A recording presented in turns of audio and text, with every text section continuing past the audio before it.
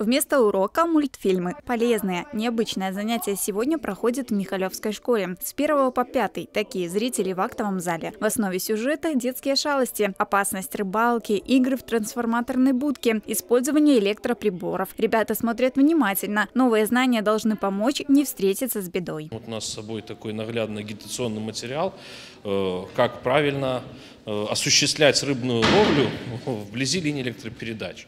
То есть, э, что нужно учитывать, на что обращать внимание. То есть для этого специально разработана вот такая стойка, и будет детям наглядно ну, показано, да, как нельзя Э, забрасывать, приближаться удилищем к линии электропередач. Следующая на очереди – викторина. Взрослые спрашивают, дети отвечают. Теперь лекция. Главные подтемы – опасность электросетей, теплобезопасность, использование электроприборов. За активное участие – познавательная раскраска, закладки для книг, магнитики. Что ты сегодня запомнила из урока безопасности? Нельзя, нельзя лазить по электротубам, нельзя лазить по трубам, нельзя по проводам, нельзя трогать провода, которые оборваны. То нельзя с веном в ванне быть. А что еще?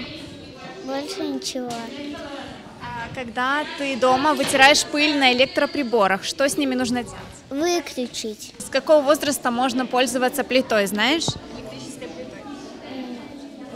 15 лет. Специалисты заглядывают и в Турковскую школу. Ученики готовы получать новые знания и навыки. От взрослых показательное выступление. В качестве инструментов листовки, телевизор и установленные знаки. И ребята, и педагоги все сходятся во мнении, такие занятия нужны. Тем более проводятся они постоянно и на разные темы. Хочется поблагодарить представителей Госэнергогазнадзора за предоставленную информацию, за предоставленные листовки, наглядную агитацию.